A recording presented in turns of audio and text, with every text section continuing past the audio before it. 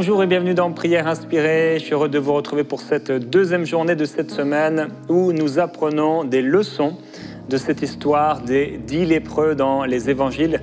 Hier, j'ai partagé avec vous sur euh, la crainte de Dieu, euh, pourquoi il est important de craindre Dieu, ce qu'était la crainte de Dieu et quelques bienfaits de la crainte de Dieu. On a surtout vu la définition euh, de la crainte de Dieu en quelques mots et quelques bienfaits de la crainte de Dieu. On n'a pas vu tous les bienfaits parce qu'en fait, la crainte de Dieu amène vraiment une, grande bénédiction, beaucoup de choses dans notre vie en tant qu'enfant de Dieu. La crainte de Dieu est un élément fondamental en tant que disciple de Jésus-Christ. Et euh, dernièrement, je partageais avec vous, je vous avais dit que si je devais me trouver avec euh, un, jeune homme ou quelqu'un que je devais prendre avec moi, euh, peut-être sur une île déserte même, et en faire un disciple, la première chose que je lui enseignerais, ce serait la méditation personnelle et quotidienne le matin vie de prière et de méditation en se levant tous les matins. C'est quelque chose d'important et que j'enseignerai. Euh, et je pense que la crainte de Dieu, ça fait partie, peut-être pas la deuxième chose, mais en tout cas parmi vraiment les, éléments fondamentaux euh, qu'il faut avoir en tant que disciple du Seigneur Jésus-Christ. La crainte de Dieu. Parce que vous savez, on peut... On peut avoir même un très beau ministère, on peut savoir très bien prêcher, on peut bien connaître la parole de Dieu, on peut même prier comme il faut, mais si on n'a pas la crainte de Dieu, on ne tiendra pas bon et on tombera. Et ça, la crainte de Dieu va nous permettre de rester sur la piste, de rester sur la voie. C'est tellement important, c'est vraiment important. Et donc on en a, on en a parlé hier. Et aujourd'hui, je voudrais parler, vous parler, parler avec vous de, des bienfaits de l'obéissance on va parler obéissance aujourd'hui et euh, j'ai un témoignage de Sarah d'Algérie. Elle dit Depuis plusieurs mois, j'aspirais à parler en langue et je suivais tous les programmes de MCI sur le sujet. Aujourd'hui, j'allais me reposer le Saint-Esprit m'interpelle et me dit Va regarder l'émission du jour avec Jérémie et Audrey. Je disais Je me repose, je le ferai après. J'allais regarder la télévision. Mais hop, une coupure d'électricité. Du coup, j'ai obéi, je suis allé regarder et lorsque vous avez prié, je suivais aussi, puis ça s'est fait tout seul. Je me suis mis à parler en langue sans m'arrêter et c'était facile et sans effort. Merci Saint-Esprit, merci MCTV, que Dieu continue à vous bénir en voyant le fruit de votre travail. L'obéissance. Si Sarah n'avait pas obéi, eh bien, elle n'aurait pas reçu. Et euh, elle a eu un petit, une petite aide pour obéir. Et ça, c'est bon quand le Saint-Esprit nous aide à obéir par des éléments naturels qu'il peut mettre en place euh, pour qu'on puisse le faire. Dans Luc au chapitre 17 au verset 11, on est dans, dans ce passage des dix lépreux. Il est écrit, au cours de son voyage vers Jérusalem, Jésus passait entre la Samarie et la Galilée. Comme il entrait dans un village, dix lépreux vinrent à sa rencontre et se tenaient à distance. Ils élevèrent la voix et dirent, Jésus, Maître, aie pitié de nous. En les voyant, il leur dit, donc Jésus, Allez vous montrer au sacrificateur. Et pendant qu'ils y allaient, il arriva qu'ils furent purifiés. Et donc, on a dit hier que ces dix lépreux se retrouvent sur le chemin de Jésus, ou Jésus se trouve sur le chemin des dix lépreux. Et Jésus est en train d'entrer dans la ville. Et si Jésus entre dans la ville et qu'il commence à marcher dans cette ville, eh bien c'est trop tard pour les dix lépreux. Ils ne pourront pas euh, être vus par le Seigneur Jésus-Christ. Ils ne pourront pas recevoir quoi que ce soit de celui qui guérit, de ce guérisseur, entre guillemets, à l'époque pour certaines personnes. Et donc c'est le moment de leur vie où ils peuvent avoir l'intention de celui dont ils ont entendu parler à droite et à gauche, celui qui guérit n'importe quelle maladie et qui a d'ailleurs guéri des lépreux tout comme eux. Alors, ils vont aller euh, essayer de rejoindre Jésus, mais tout en se tenant à distance au point où ils doivent élever la voix et certainement en fait crier Jésus, Maître, aie pitié de nous. Et là, dans la crainte du Seigneur, ils se tiennent à distance et ils font appel à lui là à l'entrée de ce village. La Bible dit, en parlant des villages, dans Marc au chapitre 6 et au verset 56, en quelques lieux qu'il arriva, dans les villages, dans les villes ou dans les campagnes, on mettait les malades sur les places publiques et on le priait de leur permettre seulement de toucher le bord de son vêtement, et tous ceux qui le touchaient étaient guéris. Alors, la guérison dans, dans la vie de Jésus était quelque chose d'extraordinaire, de quotidien, de régulier, et tous les malades venaient à lui pour être guéris. Et donc on a vu que Jésus réagit curieusement à, cet appel à l'aide, à ce cri de désespoir. Imaginez-vous à la place des dix lépreux, donc vous êtes dans cette condition de souffrance, de cette condition d'humiliation, euh, cette condition d'exclusion. Vous êtes vu comme maudit par le peuple, par la loi. Vous êtes exclu de la vie sociale, exclu de la vie religieuse qui prenait une place énorme, importante euh, à cette époque-là. Vous êtes un moins que rien. Et vous avez l'habitude que les gens euh, vous fuient, peut-être que les enfants se moquent de vous. Oh, regarde le lépreux, regarde le lépreux. Et c'est horrible, c'est horrible. Et vous avez vécu comme ça, peut-être depuis des années, depuis la, naissance peut-être, et, vous vivez avec cet état, et c'est une souffrance quotidienne. C'est une humiliation quotidienne. Et vous avez peut-être dépensé de l'argent pour euh, être euh, ausculté, euh, regardé par des médecins, par des spécialistes, peut-être même par des personnes qui, traînent dans, dans, toutes sortes de choses bizarres par rapport à la guérison. Et finalement, eh bien, la condition n'a pas changé, comme cette femme euh, à la perte de sang qui avait dépensé beaucoup d'argent et qui n'avait trouvé aucun, aucune amélioration à, sa condition. Et peut-être vous avez fait appel à des personnes aussi euh, qui passaient quelque part. Jetez-nous de l'argent, euh, s'il vous plaît. Et peut-être que parfois les gens jetaient une petite pièce ou jetaient un morceau de pain à rassis. Et là, comme un animal, vous vous descendez, vous mettez à terre dans la poussière et vous ramassez ce morceau de, galette, peut-être de pain à l'époque, et, vous le mangez comme ça, et c'est ça votre vie. Dur. Peut-être souvent, ça vous est arrivé comme un mendiant, eh bien, d'être à peine regardé par les gens, comme ce mendiant jeune à qui je parlais, j'avais 20 ans à peu près, et je lui parlais du Seigneur. On était dans une rue passante avec beaucoup de gens. Et il me dit, tu vois la femme qui arrive là, eh bien, je vais mettre mon bras comme ça et tu verras, elle ne me regardera pas. Trois, quatre, cinq secondes après, cette femme traverse, il se met comme ça devant elle. Et cette femme, elle fait, hop, elle continue, elle ne l'a pas regardé une seule seconde. Eh bien, voilà quelle était leur condition. Et donc, Jésus dont ils ont entendu parler. Jésus amour, Jésus compassion, Jésus guérison, Jésus miracle, Jésus provision, Jésus douceur, Jésus bienveillance. Jésus tout est possible se trouve devant eux. Et là, ils ont entendu parler des récits de Jésus. Ils, ont, ils savent que le soir, euh, on apporte les gens, euh, ils touchent, ceux qui le touchent sont guéris. Ils ont certainement entendu parler de, ce lépreux qui est venu et qui a touché, qui s'est prosterné au pied de Jésus. Certainement, il a touché le pied de Jésus, euh, voulant sa guérison. Parce que, comme j'ai dit hier, on, pourrait être prêt à payer n'importe quoi pour notre guérison quand ce sont de telles souffrances, des souffrances telles que l'ont vécu les lépreux. Mais non, ils gardent leur distance, on le sait. Et, et Jésus celui dont ils ont entendu dire qu'il touchait les yeux de l'aveugle, il posait sa main sur ceux qui étaient malades. Parfois, oui, il déclarait une parole de vie et, voilà cette personne qui avait la main euh, fermée, bloquée, paralysée, eh bien, elle ouvre sa main, sa main est guérie, libérée. Jésus va leur dire, allez vous montrer au sacrificateur. Et c'est une folie. Allez vous montrer au sacrificateur. Et comme si on n'avait pas tout essayé. Jésus, c'est à toi, c'est à toi, c'est vers toi qu'on s'adresse. C'est toi la solution. On n'a d'ailleurs jamais entendu ça. Que tu aurais dit à quelqu'un d'aller se montrer au sacrificateur qu'il aurait été guéri. Mais sur ta parole. Parce qu'en en fait, ce que Jésus est en train de leur dire, et ils le savent par la loi.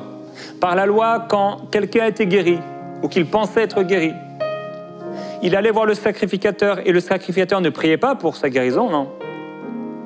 Ce sacrificateur, il auscultait, il regardait. il y avait plusieurs façons de faire. Et il pouvait déclarer si ce lépreux, par exemple, était guéri, oui ou non. Et s'il ne l'était pas, il devait tout de suite ressortir hors du camp, hors du village ou hors de la ville. Allez vous montrer au prêtre. Littéralement, il est dit en fait, allez vous montrer vous-même au prêtre. Et quelque part, c'est comme si Jésus dit, mais je vais rien faire pour vous. Allez vous-même vous montrer au prêtre, faire quelque chose d'ailleurs qui est interdit par la loi. Jésus ne les touche pas, Jésus ne leur tend pas la main, Jésus ne pratique pas de gestes d'imposition des mains, Jésus ne s'approche pas d'eux, Jésus ne bouge pas. Et là, ils auraient pu se sentir, mais avoir toutes sortes de raisonnements. Eh bien voilà, c'est ça ce Jésus. Je suis en train de souffrir et Jésus est en train, de me dire, mais va marcher jusque là-bas. Alors je n'ai même pas le droit de faire, je vais, vais peut-être être tué sur la route. Ou peut-être on va me jeter des pierres parce que je n'ai pas le droit d'être là dans la ville. Et en plus, je vais me montrer au sacrificateur comme ça. Et en plus, le samaritain, lui, ne pouvait pas aller se montrer là, dans le temple. C'est un samaritain, il, devait aller, lui, dans, son village, mais ça aurait été la même, la même chose pour lui. Et pourtant, qu'est-ce que dit la Bible? Et pendant qu'ils y allaient, donc Jésus dit, allez vous montrer au sacrificateur, et la, phrase suivante dit Et pendant qu'ils y allaient, il arriva qu'ils furent purifiés. Frères et sœurs, quand Dieu te dit quelque chose, je t'encourage, je m'encourage, obéissons. Tu peux ne pas comprendre, tu peux te demander pourquoi, obéissons. Ça me rappelle une histoire que j'ai regretté de ne pas avoir obéi. Je me trouvais dans une église locale. Ah, et là, il y a un homme euh, qui est venu pour la, guérison. Et là, je ne l'ai pas vu venir, mais là, je le vois, il est, là. Pendant que je suis en train de prier pour les gens, il y a comme une voix qui me dit prie pour sa jambe droite. Et le monsieur n'avait pas dit pourquoi, euh, qu'est-ce qu'il avait.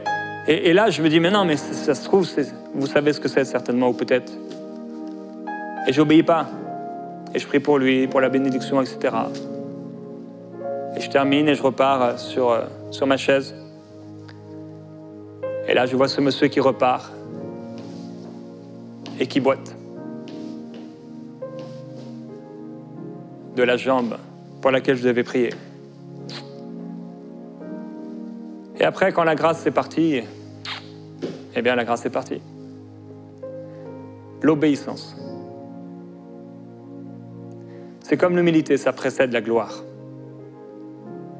Il y a des gens qui n'ont pas été sauvés parce qu'on n'a pas obéi. Il y a des gens qui n'ont pas été guéris parce que quelqu'un n'a pas obéi. C'est fou, l'obéissance. Ce que ça peut engendrer?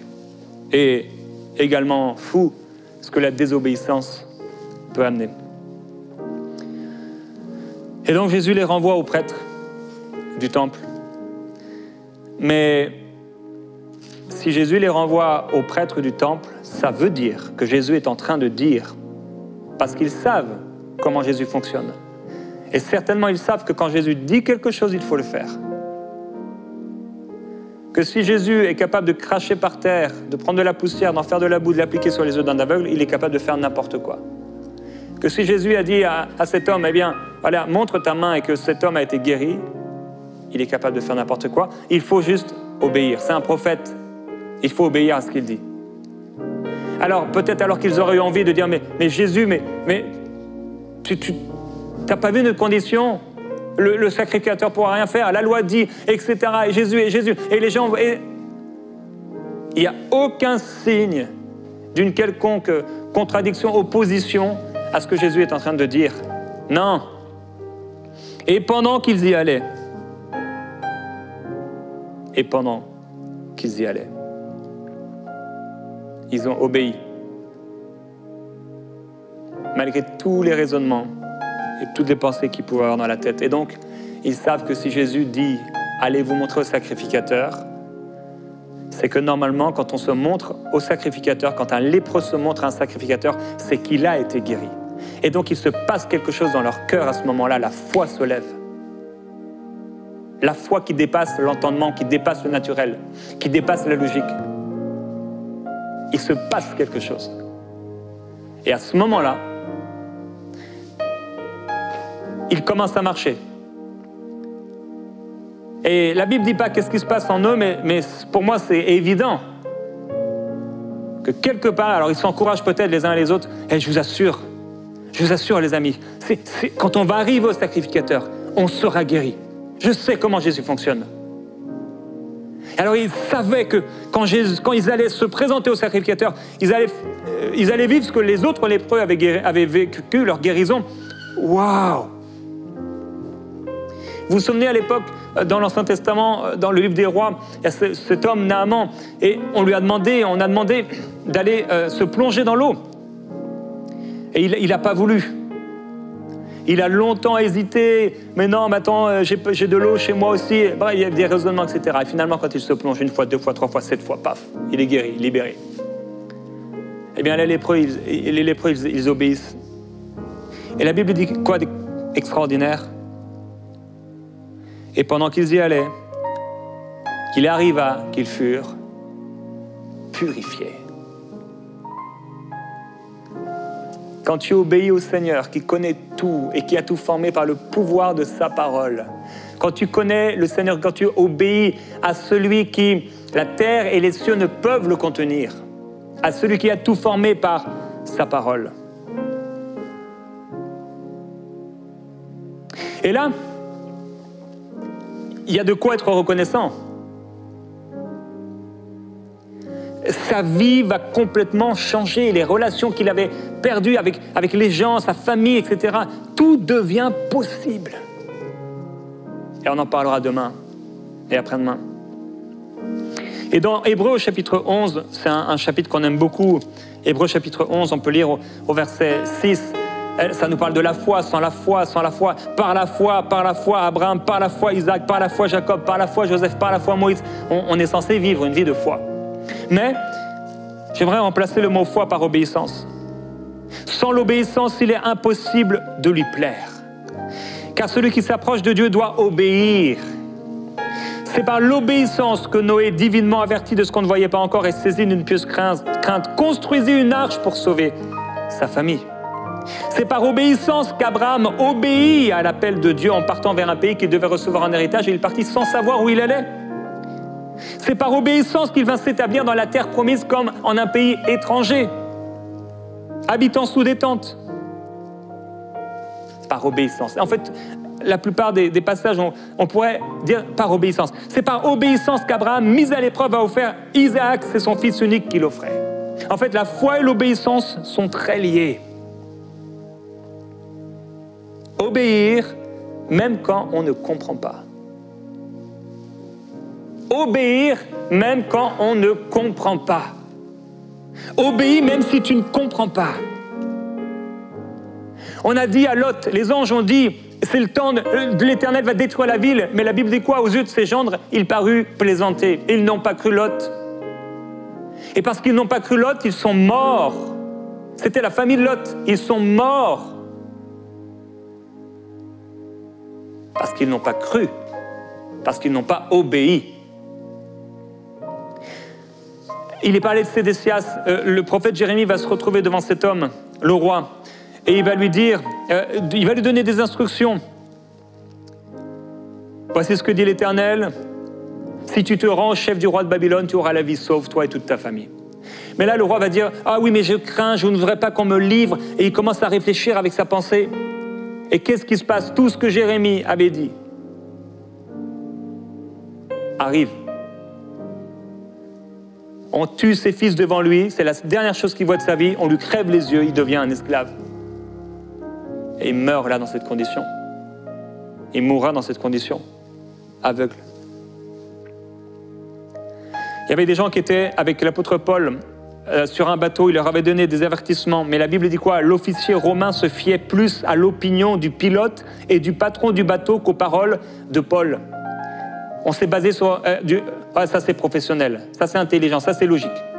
Et la Bible dit quoi? Une légère brise du sud s'était levée et ils voyaient déjà leur projet réalisé. Tout paraissait logique. Et pourtant, il y a eu un naufrage. Tout peut paraître logique. Ça peut faire du sens, comme on dit au Québec. Ça peut avoir l'air la chose la plus juste et la plus normale. Mais quand Dieu parle, on obéit. Et Père, nous voulons te remercier aujourd'hui pour ta parole. Tu nous encourages à l'obéissance. Et je crois, oui Père, que comme l'humilité précède la gloire, l'obéissance précède la gloire. Mon Dieu, tu cherches un peuple obéissant. C'est toi-même qui as dit, je ne veux pas des sacrifices. L'obéissance vaut mieux que les sacrifices. Saül, c'est parce qu'il n'a pas obéi que tu as mis fin à son règne.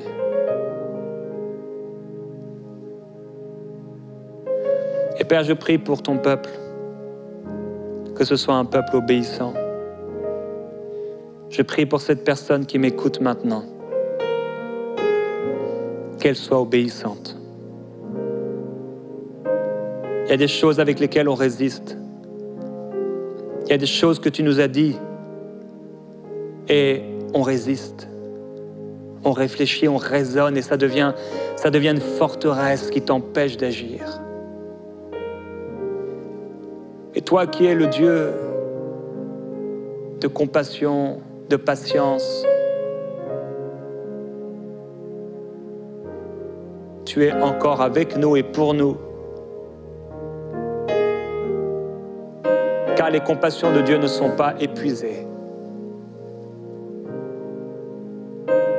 Oui, sa bienveillance n'est pas à son terme. Je prie, Père céleste, pour l'obéissance.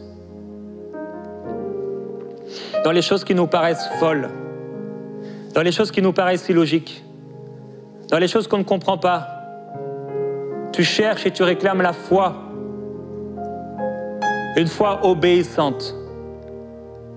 Une obéissance de foi. Je veux t'obéir. Je veux être une personne obéissante. Dis-le au Seigneur de la prière. Dis-lui, je veux t'obéir. Je veux t'obéir. Apprends-moi à t'obéir. Aide-moi à t'obéir. Pousse-moi à t'obéir. Empêche-moi de désobéir. Empêche-moi de ne pas obéir.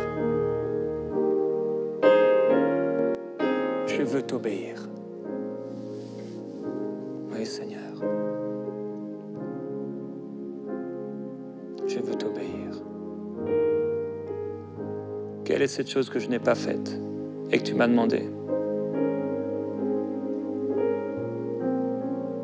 Quelle est cette lettre que je n'ai pas écrite?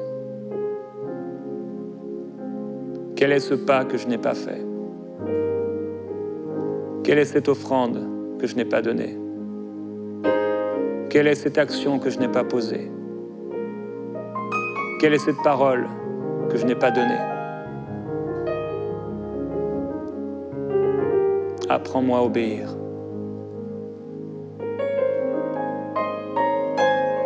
Oui. Apprends-moi à obéir. Demande-lui pardon là où tu es. Seigneur, pardonne-moi. Pardonne-moi de m'appuyer sur les paroles des hommes.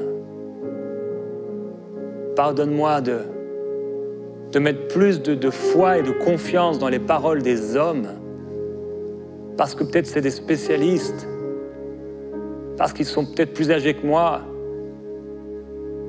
alors que tu les as créés. Pardonne-moi. Pardonne-moi d'avoir regardé avec la vue et, d'avoir fait des calculs et des raisonnements alors que tu avais parlé.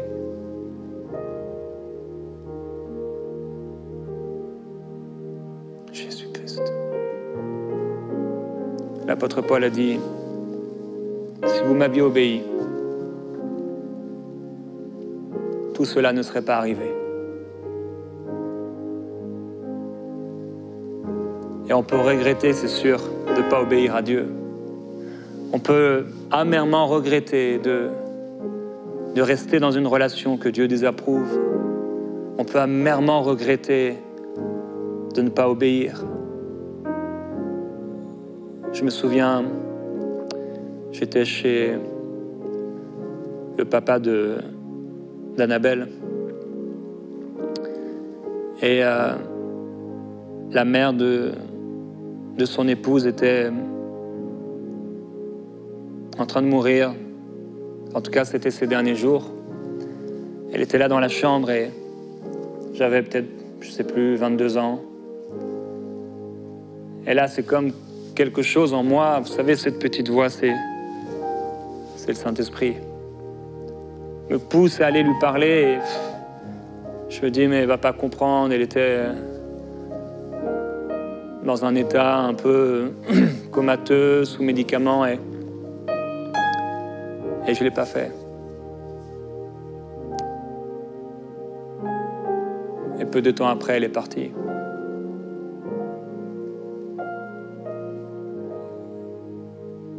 Obéir. C'est ce que Dieu nous appelle à faire. Il faut obéir et ne pas s'appuyer sur notre propre sagesse. Père, aide-nous à ne pas nous appuyer sur notre propre sagesse et sur notre propre intelligence. Quand tu parles, Seigneur, que nous puissions obéir. Quand tu dis un mot, Seigneur, nous voulons obéir. Pardonne-nous, Père, pardonne ton peuple. Pardonne ton peuple, ô Dieu. Pardonne tes fils, tes filles qui sont censés être tes représentants. Pardonne-nous, ô Dieu, pour tout ce qui n'a pas pu être fait à cause de nous. Car tu cherches des esprits bien disposés. Tu veux l'obéissance. Tu cherches des vases disponibles. Je veux être disponible. Je veux être disponible, Seigneur. Je veux t'obéir encore dans les choses folles auxquelles tu m'appelles. Quand c'est démesuré, quand c'est complètement insensé, je veux le faire. Si tu as dit, je dois poser les mains sur un malade, je veux le faire, car il ne s'agit pas de moi, de ce que je ressens, je veux le faire. Oh Dieu, que ton peuple soit un peuple obéissant, un peuple de foi, qu'il en soit ainsi.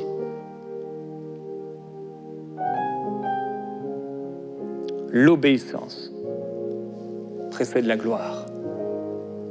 Et c'est sur le chemin, en allant, qu'ils ont été guéris. Et ils auraient pu supplier, ils auraient pu prier, ils auraient pu faire tout ce qu'ils voulaient. Ils auraient pu se fâcher, ils auraient pu rester là, fâchés. Il fallait qu'ils fassent un pas, deux pas, trois pas, jusqu'à ce que la guérison du Seigneur se manifeste. Je vous encourage à obéir. Je t'encourage à obéir, mon frère, ma soeur. Demeure béni en lui. On va se retrouver demain dans Prière inspirée.